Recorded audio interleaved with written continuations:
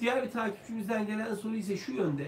F1 vizesiyle Amerikalı çocuğumu devlet okuluna kayıt ettirebilir miyim diye bu takipçimiz soruyor. Şimdi eğer takipçimizin kastettiği kendisi F1 vizesiyle Amerika'ya gelecekse ve o F1 vizesiyle gelirken çocukları da F2 statü vizesiyle Amerika'ya gelecekseler evet çocuklarını F2 vizesi altında buradaki devlet okullarına yazdırmada herhangi bir engel olmayacaktır diye bu takipçimizin sorusunu cevaplamış olalım.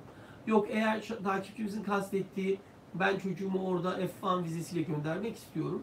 Devlet okulunda okuyabilir mi bu F1 vizesi altında diyorsanız bu mümkün olmayacaktır. Dolayısıyla F1 vizesi alabilmesi için çocuğunuzun I-20 alabilmesi gerekmektedir okuldan ve devlet okulları I-20 sistemine içinde değillerdir. Dolayısıyla herhangi bir I-20 veremeyeceklerdir. Dolayısıyla sizin çocuğunuza I-20 verebilecek bir okul üzerinden F1'ı alması yerinde olacaktır. Ama tahmin ettiğim e, siz sizin F1'da olup çocuğunuzun F2 ol- F2'de olduğu bir e, durumu soruyorsunuz. O zaman çocuğunuz F2'de olduğu sürece devlet okuluna gitmesinde bir engel olmayacaktır diye takipçimizin sorusunu cevaplamış olalım.